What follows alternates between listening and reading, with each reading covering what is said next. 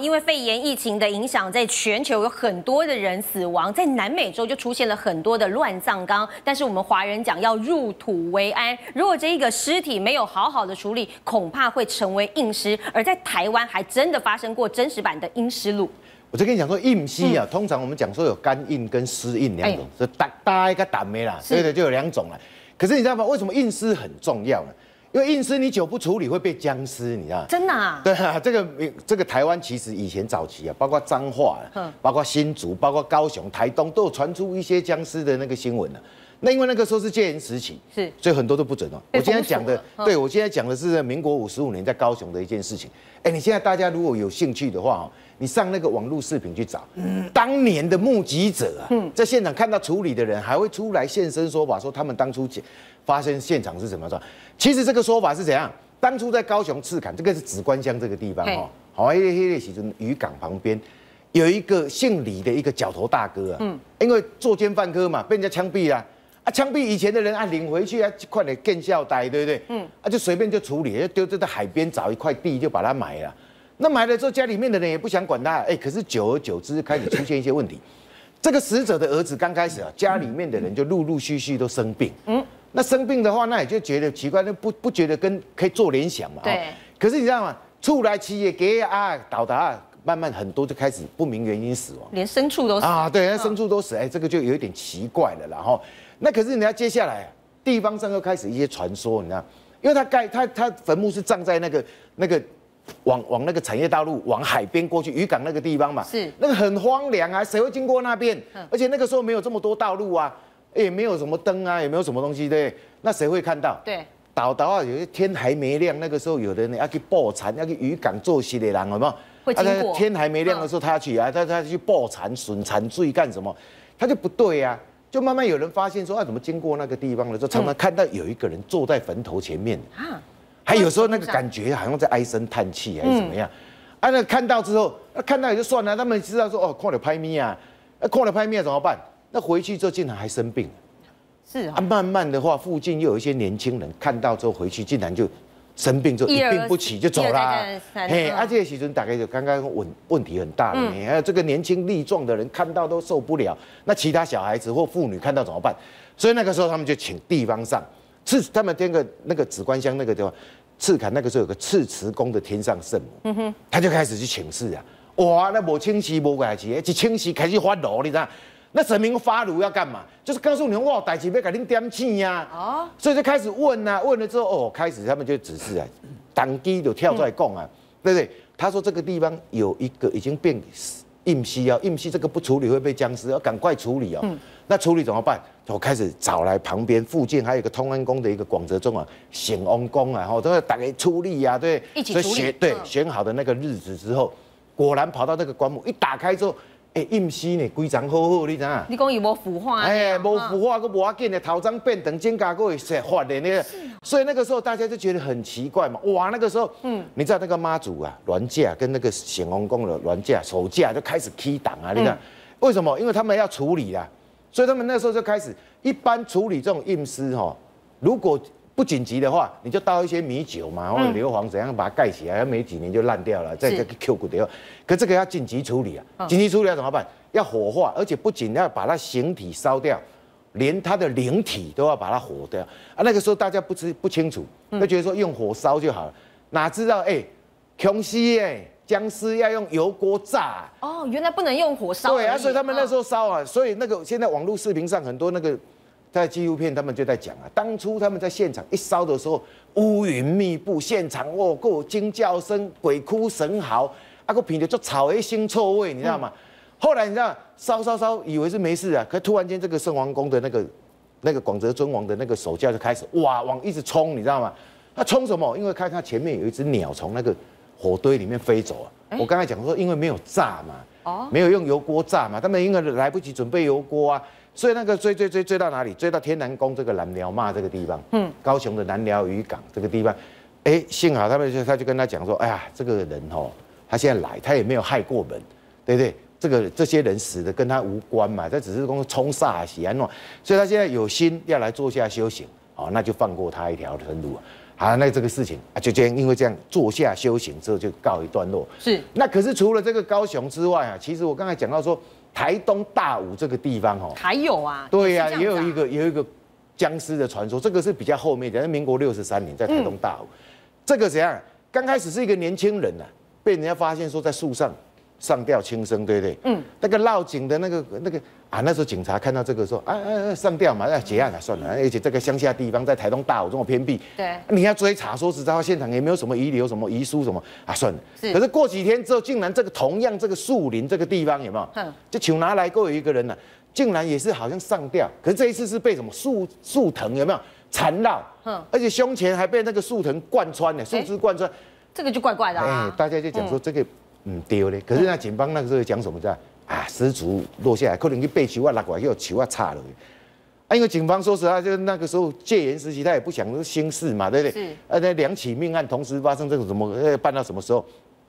可是接下来不对，这个地方上就发现说，这个墓地里面常常有人发现说，引刀会周旋啊，是出来人，那棺木那用怕亏了。啊，那就觉得很奇怪。对啊。哎，棺木打开难道是盗墓吗？可是台东大武这个地方，大家都很贫穷，也没有什么陪葬品啊。嗯。啊，你到这边上啊，更夸张的是，我们看到之后还有一个尸体不见了。啊，尸体都不见了。哎，这个后来是人家说，哎，这个下山二十几年了呢。嗯。啊，是遭到去，用野果啊，现在无嘛无可能归归尊个拖走啊，总要留下一些东西嘛。哎，这个时候大家就不对了，就开始毛毛的，毛毛的。更夸张的是。自从发现这个尸体不对啊，晚上地方开始吹高雷嘛，嗯，半夜吹高雷，你听了你是不是就会毛毛的害怕 啊？整个村子那个狗都出来吹高雷，时阵你就开始，所以那个时候啊，不行，一定要报警。是这个不把它查出来怎么行？哇，那个时候其你知道当地的新闻还说警方啊，那时候荷枪实弹，在整个村子里面开始找啊，开始查这个案子，而且叫人家说晚上你别在村门啊弄啊弄，就开始警察在戒备嘛。那可是戒备没有用啊，那个狗啊，不仅吹高雷啊，甚至还有一些畜牲畜也慢慢就死掉了，越来越严重。哎呀，越来越严重，这个事情闹大了嘛，对那个时候就不行哦，扣警察无法度啊，只要找钟馗爷出来。哎，抓鬼的钟馗啊，这个钟馗爷开始哦，神明开始布阵，开始找的时候，哎，突然跑跑跑跑跑跑跑跑，哎，大家就觉得很奇怪，他怎么跑到一个民宅门口？对，好啊，那个民啊，当然不是这个这么漂亮了，这个是太豪华了，因为台东那个地方，它的房子都木板嘛，哈，而且常常有因为。当地比较潮湿，所以那个房床有没有都会把它架高，而且用木板把它封起来。哦，好啊，所以他们平常不会没事跑去床底下找东西啊。哈，所以他们在到那个时候，哎，奇怪，这个钟馗爷怎么到这个民宅门口停下来之后，还叫大家说进去开始查。哎，那个屋主就刚刚就奇怪，我们到就就正常啊，无鬼鬼口走廊啊，你来来这边查下面。后来你看进去，钟馗一进去之后，竟然在床底下板子一拆开之后，拖出一具尸体。你说尸体就放在床底下？对啊，那个女主人一看到当场昏倒，啊，跟这个尸体睡这么久，她竟然不知道。对啊，而且那个尸体拖出来，竟然还是硬稀啊，也是那种没有腐烂的那种感觉的。他说哇啊，这个现在惊都惊死啊！后来才知道说，哦，这个僵尸啊，印西啊，已经慢慢成为僵尸。原来这个地方上出现这么多问题，都是因为这个僵尸造成的。嗯，而且更夸张的一点，为什么可以确定它是僵尸？尸体拖出来，你好好的也就算了，包括你的脚啦，什么地方全部都是沾满了泥巴。你讲你可以挑哦。哎，表示你膝盖啪啪照，对不对？啊，暗时叫招灯来困了。是啊，所以这个时候他们就觉得这个不行，一定要处理，所以是用一般的钟馗也是用刚刚我讲过处理僵尸的方式，用油锅炸之后才把这件事情平息下来。郑老师，我问了，刚刚也提到了说要处理这个硬尸或者是僵尸啊，非常的困难。那如果说这个法师法力不够，有没有可能会被反噬啊？会，哎，有时候。我在三十年前的时候，因为鹿港有一个大富人家，他在台北呢，在现在我不要讲那百货公司后面一排的房子都是他的，是。然后呢，他是早期来呢，很早就十几岁就到台北来，所以他等于认真的工作，然后一户一户的买，然后最后致富了。致富呢之后就家里就突然间奇怪了，妈妈子宫癌。他老婆也子宫癌，他弟媳也子宫癌，就是，然后他就想说，要不然找我去看看，嗯，他家的坟。那我一去的时候，他们家的坟呐，那个墓碑上面啊，我们墓碑是跟人一样，就是有肩膀很像嘛。那在下体的部分呢，就很像蜡烛，我们好像点过蜡烛在那个石头上，油油的，是就湿在那个地方，然后旁边还发发霉白斑，啊，所以断定大概是这个坟墓，就是祖先的这个坟墓引起了这家里的子宫癌。那当然他们就是说，哎，能不能赶快处理的？嗯，好，就我就请了一个 Q 金 Q 六十八年啊，那耳机上。是老手了，厉害吧？对，六十八年的工作，结果那个他的那个坟墓啊，一打开，就跟学伟刚才讲，是那个就是干尸，干尸，嗯，对，就整个都没腐化，哦，没腐化。那我一看这个坟墓，就比较地理上也很奇怪，就是说后面长了一棵瘦瘦的树，在靠比较靠近白虎边，在右边。然后呢，结果长得很茂密，把那个坟呢都快遮住了。是，好，那结果呢就剪了嘛，剪了，我们当然要请师傅说，你赶快把它处理，我们选个日子，再找个地方把它这个这个完坟嘛。结果呢，第三天，师傅，我那请的那个师傅，六十八年的经验，老手，嗯，老手挂了。啊，老手挂啦。即使在剪的时候，他已经脸色发青发白，因为他在剪的时候，印丝他也剪过啊，可是那个印丝长了上下长了獠牙，所以他回去以后就。其实，在台湾还真的有像这样子的杀鬼部队，历史已经有将近百年的历史，而且抓鬼队长被称为是官将手，更是神秘。要问一下启鹏老师了，听说呢，这个抓鬼部队是有钱都请不到的啊。是我相信大家都看过，在各地庙宇神明出巡时，在队伍前面有画着脸谱、手拿雨伞或手铐的阵头，那他们是神明的护驾，负责为神明开路，所以会在队伍面前充满气。式的踏步巡行，那很多人都认为那是一种义正的表演，那其实并不是。像是在新庄地藏庵这边的官将手，他们画好脸谱之后，会请法师来开光讲咒施咒语。那等到咒语施完之后，让官将手的元神降临，才可以成为真正的官将手。所以民族专家说，这样的一个。密咒还有他们的开光仪式是密不外传的，是，所以其他地方也许有训练出官将手的阵头，但是只要没有这些咒语跟开光仪式，就不是真正的官将手。是表演就对了。对，所以新庄这边地藏庵的官将手传承百年，也就成为官将手的发源地。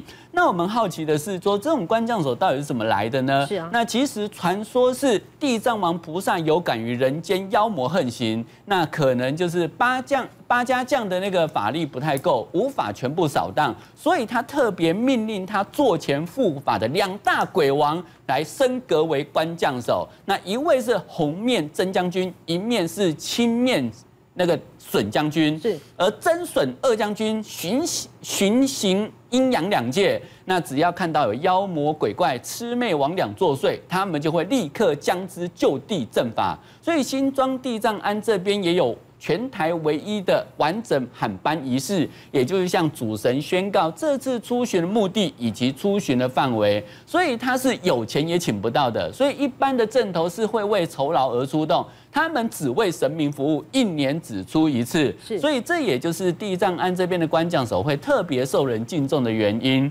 然后我们可以注意到这些官将手的脸谱，他们上面有长须、长眉，还有他的獠牙。你可以注意到他的獠牙是向上的，那是为了保持他们容貌的威严，要震慑那些妖魔鬼怪。那不过如果遇到有五人城镇的钟馗主神时，他们的官将手獠牙会向下，原因是因为神格是鬼王嘛，他的神格比较高。如果这些官将手獠牙向上的话，会被视为是挑衅哦，所以他们有类似这样的禁忌，而且他们在扮演官将手的时候，也不可以轻易开口。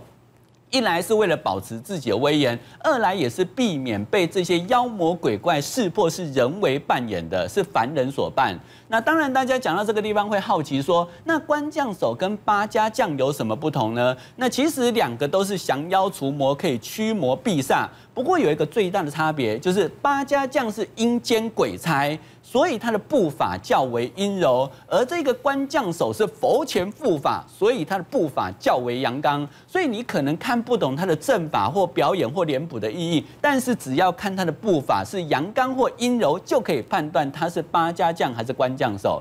那官将手素有阴间刑警之称，所以他们在出巡的时候，也往往有一些出人意料之举，像是他们曾经有有人就发现说，他们到十字路口的时候，会特别停下来摆正起舞。为什么？为什么？原因是因为这些十字路口通常会有一些恨死的孤魂野鬼，那怕他们聚集起来作帅，呃，作作乱。或者是他们也会有煞气留在那个地方，所以这些官将手会特别摆正做法来驱魔避煞。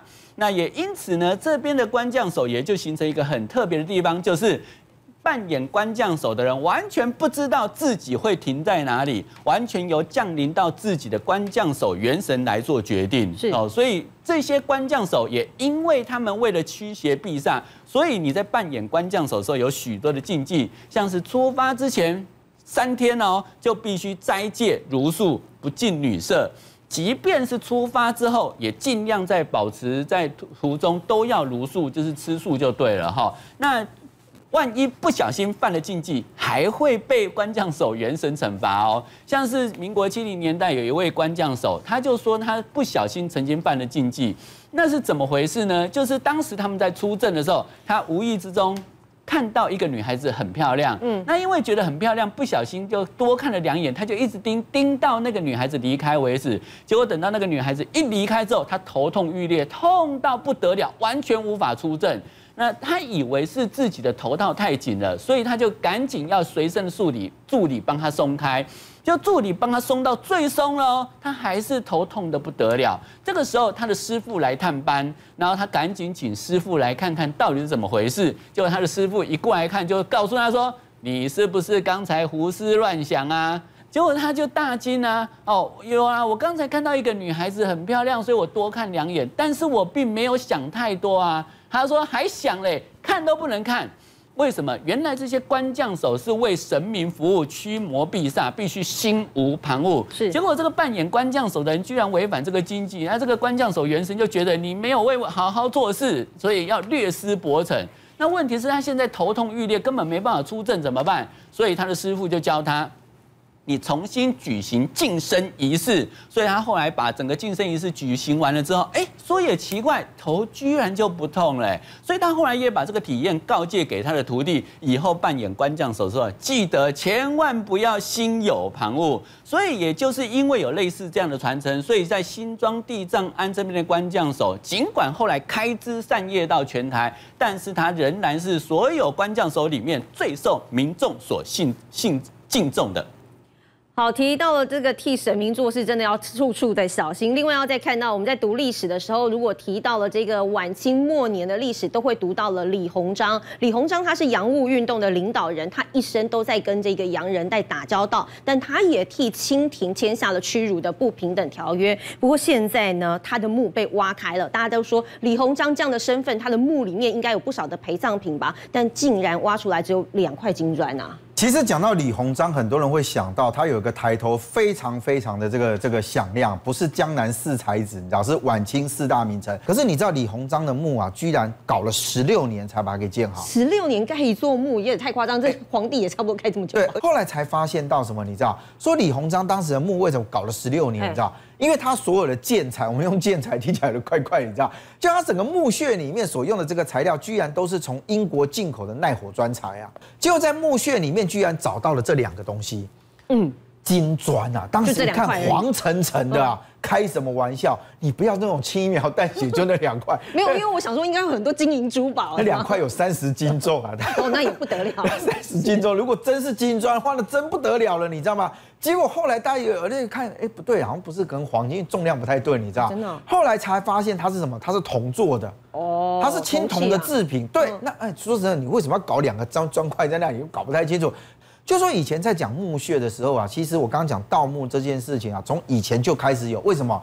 因为那个墓穴里面，如果去打一些后亚郎，我那挖进去，挖都没没没做起了，就赚这个就好。可是居然发出了那个发展出一个盗墓学，你知道吗？嗯。开始有人讲说，我用占卜的方式，为什么？哎，你今天就挖这个墓，你有话多。对。除非以前讲说，你用那个机具放进去有没有？然后开始去探测里面的才有办法。就居然有发展说，有用占卜的方式，我先卜碑，我先预测说哪一个墓穴里面后压力在啊？他如果这样子，我就不用做白宫了。据说有人因此而呃，甚至还出书了，还有这门学问呢。是啊，可是我跟你讲啊，其实这个东西，你其实我从科学的角度上面来讲，或者用一般常识来判断，哎，搞不好真有其道理。所以这里面就提到了东晋有一个哎非常有名的叫做郭璞啊。嗯郭璞这个人呢，他其实不只会占卜，而且会堪舆，最重要是他还出了一本藏经，你知道这个藏历怎样埋葬的意思嘛？所以居然跟这个所谓的祭祀啊，跟这些东西有关系，就是从郭璞这里来。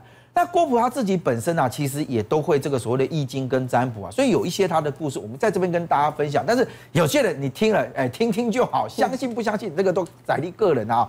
那据说当时啊，这个郭璞自己的母亲啊过世的时候啊，啊，很多人讲说，哎，你不是跨风水，啊伯你来跟得你知道？哎，那一般来讲讲风水宝地啊，你绝对不会葬在河水边呐，哎，那不好，因为河岸边里面说真的，哎，那最来冲鬼一样，还猛地带动唔在，你知道？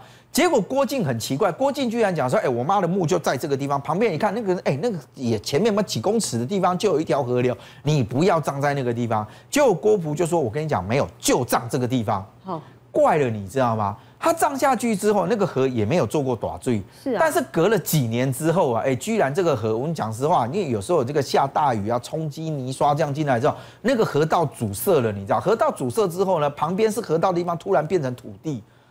而且再加上，因为它从上游冲刷下来，有很多这个有机物质啊，在那个地方，你知道吗？所以土地很肥沃啊。哎，居然就变成良田，就在旁边种了很多东西。你你妈妈的那个木大水，我我你加高升呢？一般大家不要的地，你居然选出来之后，从那个地方方圆十来里，通通都变成这个这个好的好的也，这是一个奇怪的地方。第二个是呢，因为他其实有名，所以有很多人会找他去看墓，你知道？那据说有一个太守叫做张玉啊，那时候他们家要看祖坟的时候啊，就找了郭璞，郭璞就讲说，我我选了两块地，我觉得都不错。嗯，第一块地你只要啊选在这里，我肯定讲你机器人后压啦。还不错，哎，但是刚才你气人了，后边家孙母公不是公盖后，你知啊哦。第二块地，他说呢，我告诉你，你选这个地方，你本人可能不会太顺遂，差不多关就到这里。是，但是你后世子孙一辈子享用不尽。后来他选哪一块啊？当然选。都美败呀！他主述的种双套节的例子，给后后看后。是这个太守没有太自私，他选择二。哦，哎，选项选了二，哎，结果据说人家后来指示的，其实官也都做的蛮大的，你知道？当然有一些这个所谓的奇人异事的部分，因为他有牵扯到这个风水堪舆之说嘛，哦，那像甚至还有人讲说他很厉害呢，你知道？当时呢，有一个大官啊，一个姐姐一天到晚生病，搞了三四十年，生病都不好，你知道？他那时候觉得很奇怪。结果郭璞啊，到那附近去看的时候，就讲：“我跟你讲，我帮你占卜一下。”结果一占卜的时候，发现到一件怪事啊。什么原因？他说：“我跟你讲哦，你们祖上哦，好像有杀生过。嗯，奇怪啊，那人吃五谷杂粮，对不对？哪有可能不杀生？”他说：“不是，你杀的是一条蛇。”而且这个蛇基本上，因为它那个那个已经有一点修行了，你知道，你杀了它之后，它导致你姐姐啊这个生这个重病。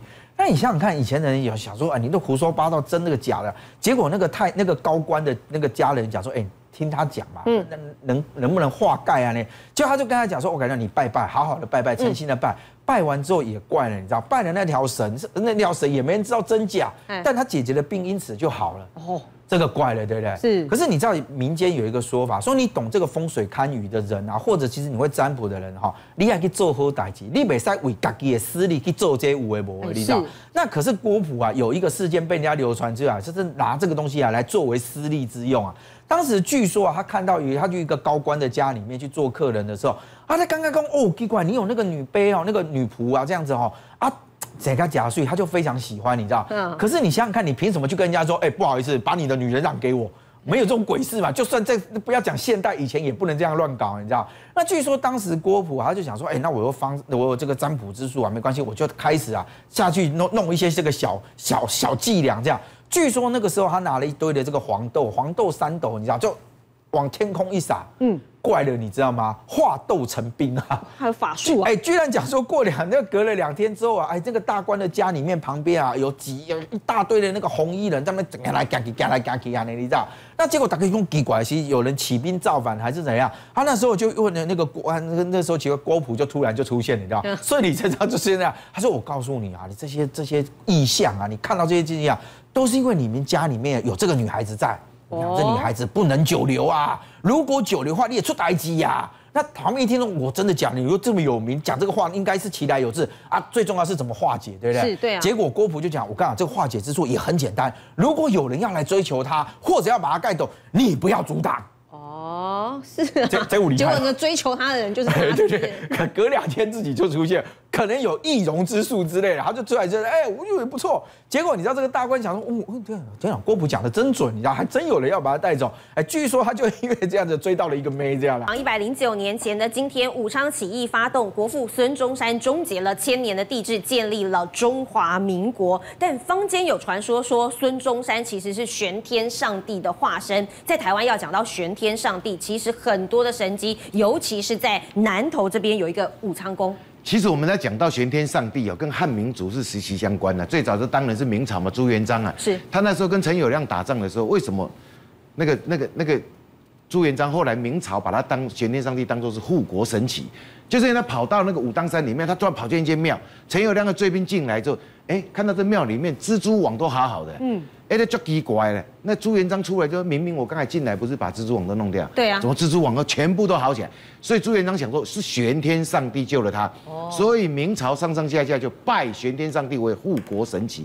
那我们讲到台湾这个玄天上帝，说实在话，台湾的玄天上帝有很多的神机，你知道吗？我们今天先介绍吉吉这个武昌宫。嗯。说实在，这个武昌宫啊，在在清光绪的时候就开始搭建了，因为从大陆请了那个真身过来之后。哎呀，你开始，大家都开始爱集资爱去啊，好不容易那哎盖这间庙的那个规模不简单呢，很大。我们看到这个照片，这边有一个，这个是旧庙，哦，这规模也很清楚嘛，对啊，这个是后来的新庙。为什么？他们刚出盖盖这个庙的时候啊，就盖好没多久，就刚好遇到一九九九年九二一大地震，哦，而且九二一大地震就估计看不来的，张是，哎，其实在这个庙。倒之前就已经有出现很多神迹呀。嗯，附近有一间庙办了一个蟠桃会，每年就请附近的我们那个南头的公庙神明啊，对不对？来做客呀。那每次热闹的话都是七天六夜。嗯，哎，刚我们讲哦，这个玄天二上帝哈，就去的时候去做客的时候，突然间哎，人老了，刚一半刚中岛呢，他竟然找了鸡童来降价。啊，真的？他说他现在急着要回去。为什么？哎，大家也不知道原因呐。那没办法，神明公被邓启亮，掐邓起啊，对吗？是。就邓启亮那天，隔天的那个凌晨一点多，哦，九二一大地震，古也看不到。大家才知道，哦，原来这个二上帝要回去跟大上帝跟三上帝三个人在这边要同甘共苦嘛，神明要一起呀，对不对？有难要同当啊。是。后来你知道？他这个庙一倒了之后，哎，照理来讲应该古爷龙摩去啊，对不对？塌落去嘛。你看那个庙倒下，那房子倒的那个样子。可是你知道吗？那时候直升机的空拍图到处去拍的时候，发现说没有发现说这个庙倒了，你知道吗？嗯。为什么？因为它倒的时候上面屋顶全部都还是好的啊。这边可以看得出来。对啊，古爷古爷下线就是从一楼变地下室，二楼变一楼啊，其他屋顶整个都完好如初啊。那个时候他们就很奇怪，哎，其实在地震的时候还有一个神迹，就是那个庙柱，你知道。一半暝的时阵呐，伊就刚刚讲奇怪，那外面天空怎么都是红色？哦，他就很紧张，跑出去看，那那外面到底是什么东西这么亮？这样，他一跑出来，哇，怎么天空一亮之后，突然听到轰一声，他回头一看，整间庙下去，地震开始倒，开始摇了，对不对？那还好他跑出去。对，他跑出来，因为庙里面那时候只有晚上只有他一个人。那接下来怎么办？庙倒了，那哎，不能因为说你这个房子倒了，震垮。震垮了明星，对不对？嗯，你你不能接下来连这个神明这个这个感觉，让老百姓的那个慰藉都全部都不见了。是，所以那个时候怎么办？突然间那个庙祝又被人家又被神明托梦。他说：“哦，今年哦，我神神神神像哦，在庙来对好势好势哦。是，你紧给我请出来，给他救出来。我下一次余震再来的时候，搞不好就没这么幸运了。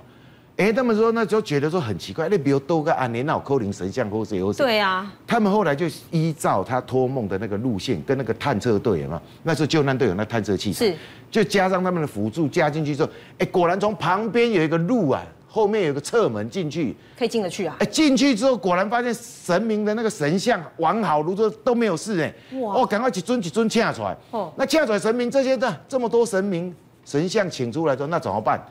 哎，总要盖再盖一庙嘛，对，要再盖一间庙啊。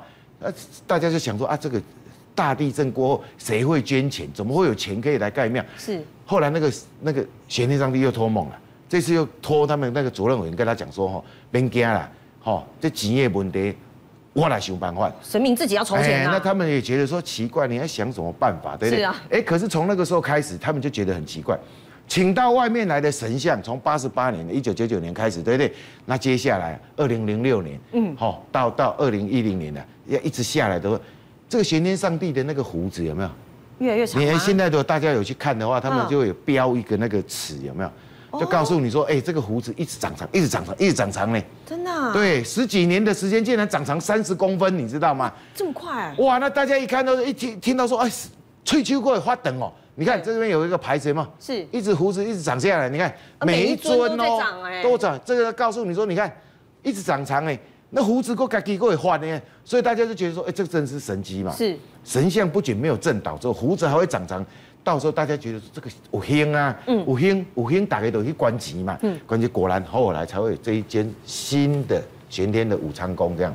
最近有一个外电的新闻说，比利时的前国王他跟情妇生下了女儿，但是他始终不认这一个女儿。后来呢，女儿从七年前就开始展开了官司，要来认爸爸。法院后来认证两个人的确是父女，但是这一个前国王对于这个女儿完全是不闻不问，让公主非常的伤心。我要问一下启鹏老师了，在唐朝有一个公主很获得爸爸妈妈的宠爱，甚至于她的这个奶奶武则天也非常的喜欢她。但是呢，听说她长得是史上最漂亮的。是，那这个公主叫做安乐公主，她的名字叫做李果儿。那这个李果儿是唐中宗跟韦后的小女儿。那据说她刚出生的时候，是父亲李显被武则天流放途中。那因为被流放嘛，什么都没有准备嘛，所以她的父亲只好把自己的衣服脱下来当襁褓。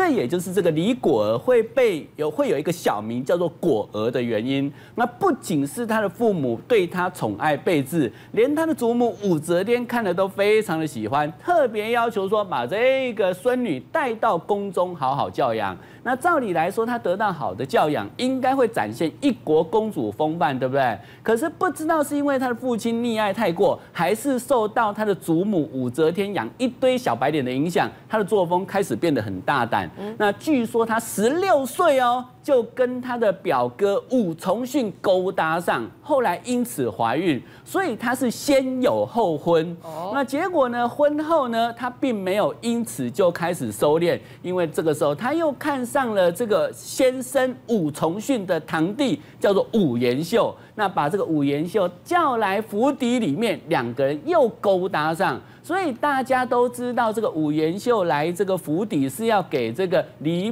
果儿的先生戴绿帽的。可是只有李重训自己不知道。那后来这个李重训因为被太子叛乱牵连被杀，被杀之后，这个安乐公主这个李李果儿应该要好好的守寡，对不对？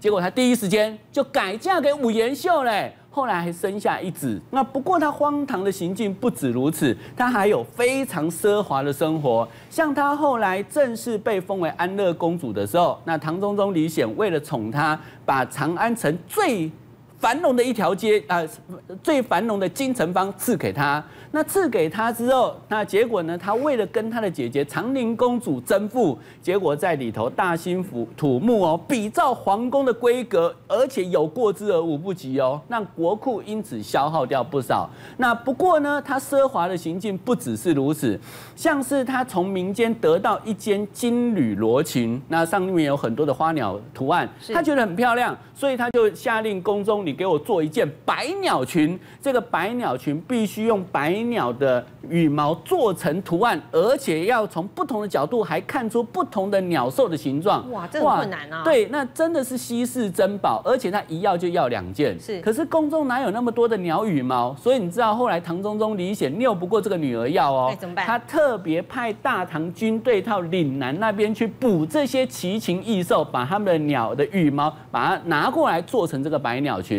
可是影响不只是如此，因为此风一涨，大家纷纷比照办理，所以大家都到岭南那边去抓那些奇禽鸟兽，结果使得那边的那些禽兽全部为之一空。你看有没有夸张？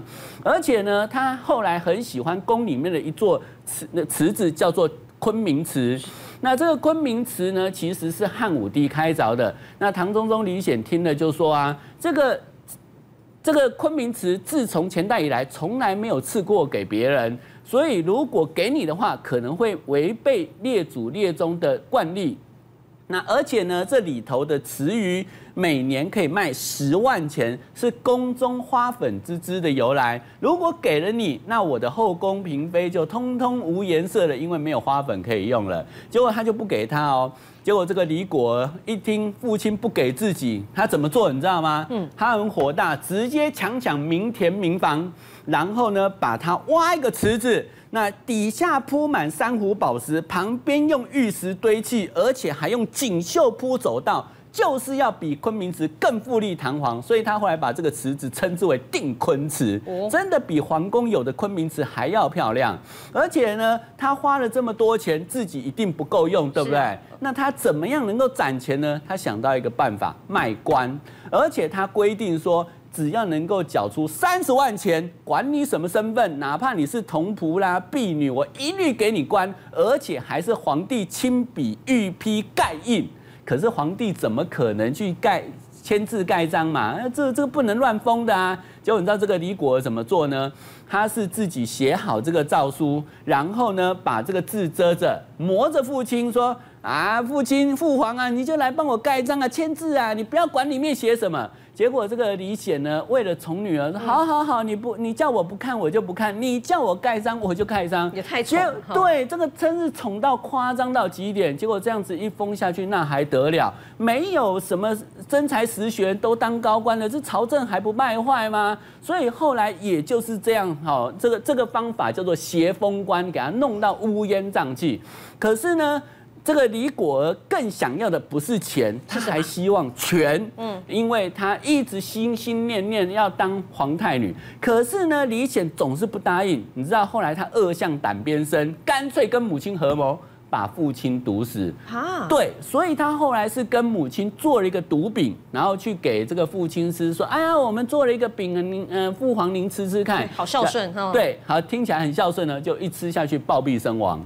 那大家都觉得就是他们在下毒的。那不过我们要问，他的父亲被他毒死之后，他有没有顺利完成愿望呢？是也没有，因为后来李隆基跟太平公主不满他们母女的行径，直接发动政变，先把韦后杀了。那当时时李果儿在宫里面书画，一听到有追兵追来，马上第一时间逃跑。可是他哪逃得过这些追兵？所以后来被抓到，当场一刀把他斩首下来。死的时候才二十五岁。可是你看他的行径，不仅奢华，而且贪腐。那那甚至到后来还弑父。那这样的一个下场，也只能称得上是咎由自取。金童想要邀请您一起加入 YouTube 会员，每个月只要两到三杯手摇饮的价格，你就可以成为我们频道的专属会员，拥有专属于你的徽章，同时你还可以观赏到我们为你做的独家影片。欢迎一起来加入，支持我们，为大家创造更好的影片。